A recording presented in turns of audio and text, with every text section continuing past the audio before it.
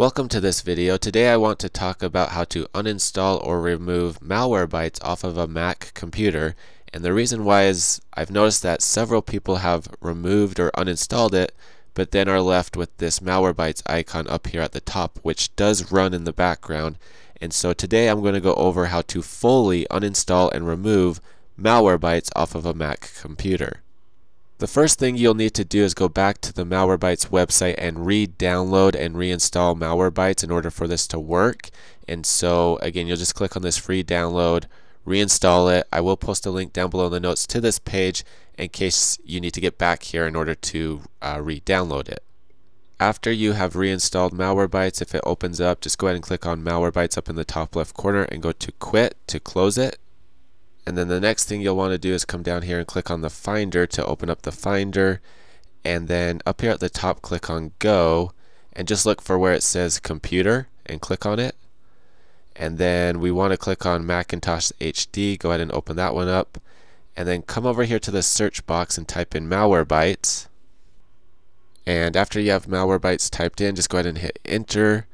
And then you'll notice there's a little plus sign right here. We want to click on that plus sign. And then if we go over here to the left hand side, just make sure that this first option says name. And then make sure the second option says matches. And then type in Malwarebytes in this box right here. And after you've typed in Malwarebytes there, go ahead and click on the plus sign again. And then this time click on the drop down and go to System Files. If you do not have a System Files option, click on Other and it will list the System Files option there.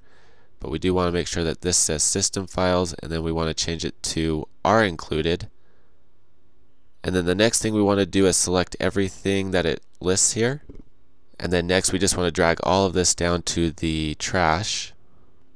And then after you have moved it all to the trash, be sure to empty the trash to fully delete it and then you'll just want to go ahead and close everything and restart the computer. After your Mac computer has restarted, you will notice that the Mac icon is no longer up here at the top and that it has fully been removed and uninstalled. And so I hope that helps. If you do have any comments or questions, uh, please post them down below and I will respond as quickly as possible. And as always, thank you very much for watching this video. I hope you have a great day.